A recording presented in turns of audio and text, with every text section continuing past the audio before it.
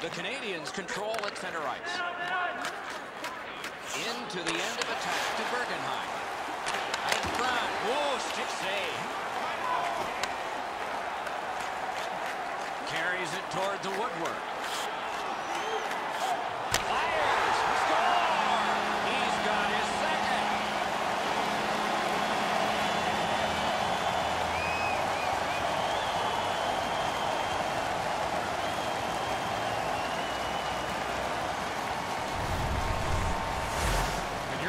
Offensive player, you have that much time. You're allowed to take that big, heavy slap shot. Fortunately for the offensive team, they're rewarded with a big goal. Players make mistakes, and so just like goaltenders do, he tries to make the flashy glove save, and he doesn't make any glove save.